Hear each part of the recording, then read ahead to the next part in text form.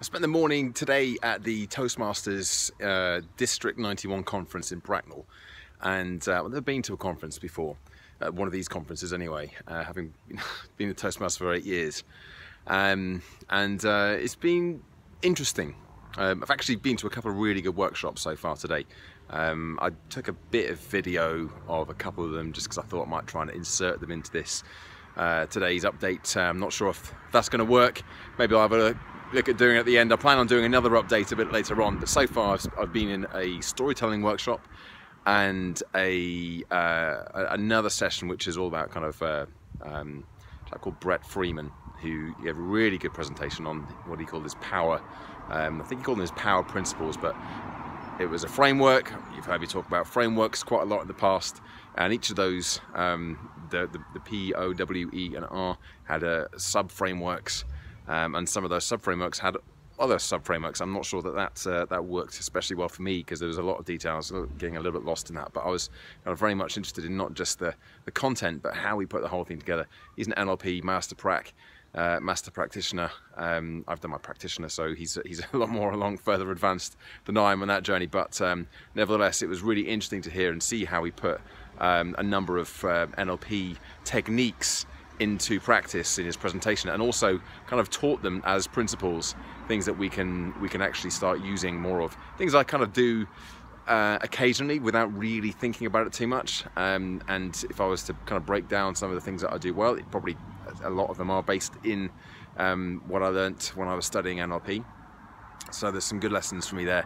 I made a load of notes and I'll review them all over the next few days and uh, take some actionable things away from it. So, so far so good. And then this afternoon it's the International Speech Contest, which should be a really high standard of, of, um, speeches, all five to seven minutes long, um, all uh, people who have got through the club contest, the area contest, the division contest, and now into district. And the winner of this goes on to uh, the states later on in the year to present at the international speech contest, the World Championships of Public Speaking. So um, something that maybe one day I'll aspire to to uh, to doing. I've never really thrown myself properly into that, but I said in a previous video that um, that might be that might be something for me to set as a goal at some point in the future. Anyway, um, it, it's uh, yeah, good day so far, and I'll be back again a little bit later on, let you know how it all goes this afternoon.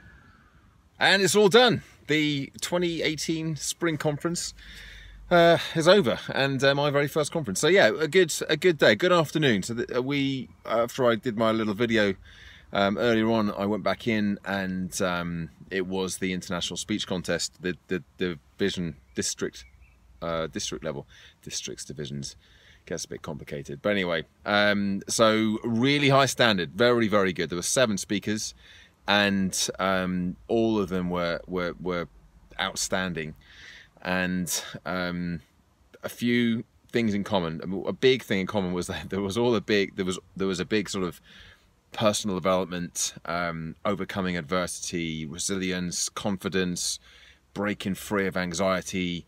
That was a kind of a theme with all. Bar one, actually, there was one speech which um, which I was actually my personal favourite, which was a, a very very humorous story. But even that had a kind of a personal story. But even that had a very strong message with it. Um, so it was interesting to see the caliber, but also the the content in the speech competition at that that level.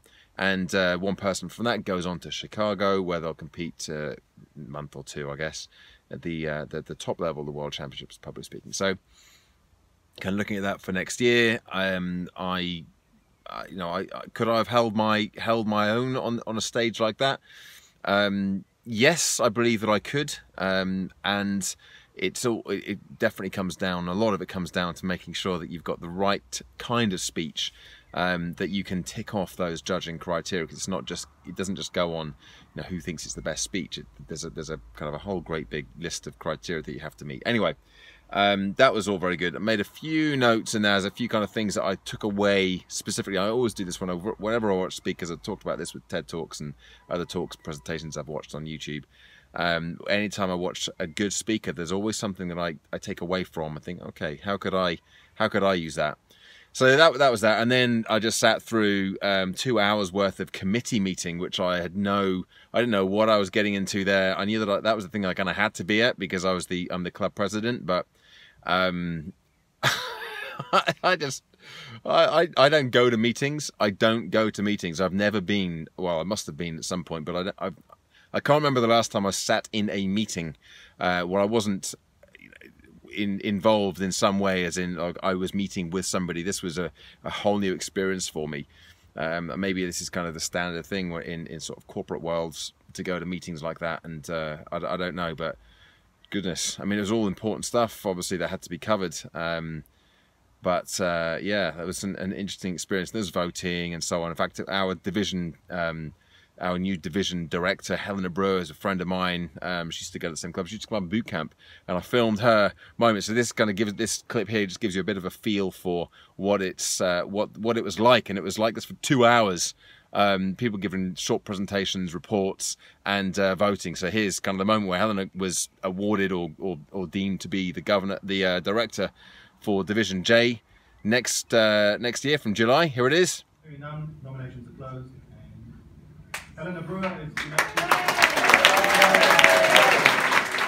and it was there was lots and lots of this. So anyway, um, it was an experience, and I'm, I'm as I'm going to be vice president in education again next year uh, from July. I'm, I'm, sure I'll have the opportunity to go to another one of these. It, I must admit, it's not the part of uh, being a toastmaster or, or anything that I do that I, I relish, um, but uh, I guess it was as painless as it could have been, if that uh, makes sense. Anyway, um, a good day. I'm about to drive home now. It's been a lovely day outside, and I've been stuck inside all day long, so I've got a day of um, doing stuff around the house and the garden tomorrow, which I'm sure will uh, give me the time to process some of the things I've taken away and learned from today. So I'll report back with my daily update tomorrow. Bye for now.